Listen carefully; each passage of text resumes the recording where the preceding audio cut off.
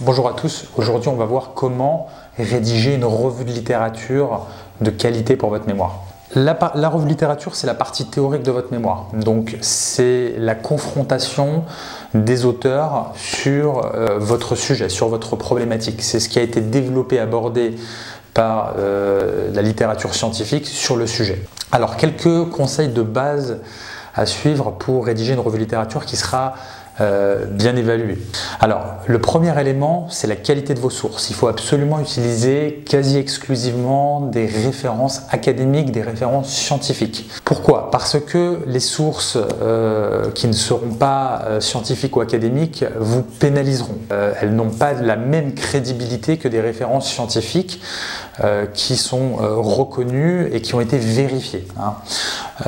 des blogs, Wikipédia et autres n'ont absolument aucune valeur dans votre mémoire et vous serez pénalisé soit par le jury, soit par votre directeur de mémoire lorsqu'il évaluera euh, votre mémoire et lira la revue littérature, puisque bah, ce sont des références qui ne sont pas des références de premier ordre et euh, bah, qui décrédibilisent en fait la qualité de votre travail. Donc veillez vraiment à sélectionner des ouvrages, des articles de recherche, des articles scientifiques, euh, vraiment des références de premier poids qui vraiment vont valoriser la qualité de votre rédaction. Deuxième élément, c'est de diversifier au maximum les sources que vous utilisez. Par exemple, sur un niveau Master 2, on attend vraiment au minimum une vingtaine de références académiques, voire une trentaine, c'est vraiment le minimum.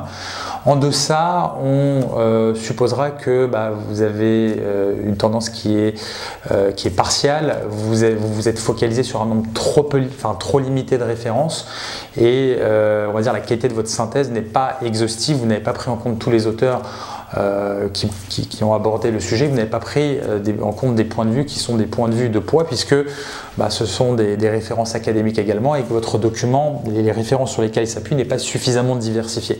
Donc veillez vraiment à diversifier au minimum, c'est vraiment une règle universelle. Euh, avoir au moins une vingtaine, une trentaine de références académiques, avec ce minimum de diversification, ça va vraiment valoriser, enrichir la qualité intellectuelle de votre revue de littérature. Troisième conseil, restez vraiment dans le sujet, dans la problématique évitez de sortir du sujet, même si les références sont intéressantes.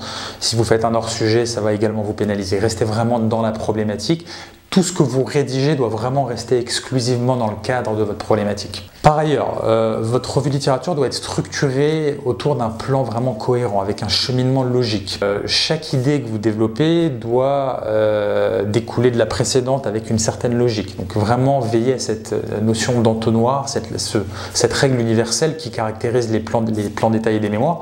Il faut également que votre revue littérature puisse suivre un cheminement intellectuel logique. Donc veillez vraiment à, respecter euh, euh, ce point-là.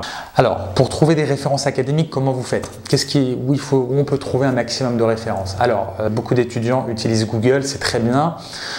cependant, Google référence en première page, notamment des sites qui sont plutôt des sites commerciaux, donc qui ne seront pas reconnus comme des références académiques. Je vous invite vraiment à vous focaliser sur des bibliothèques en ligne, des bibliothèques numériques qui comportent un grand nombre de références académiques, telles que Google Scholar, le BScott, vous avez euh, de en fonction de votre formation, vous avez de nombreuses bibliothèques en ligne qui comportent des références euh, scientifiques, donc des articles de recherche, euh, et vous pourrez vraiment trouver un maximum de références qui sont en lien avec les concepts de votre problématique. Je vous recommande vraiment de chercher au bon endroit vos références que vous allez utiliser pour la rédaction de votre revue de littérature. Voilà, j'espère que ces conseils vont pouvoir vous aider et je vous souhaite bah, bon courage pour la rédaction de votre revue de littérature.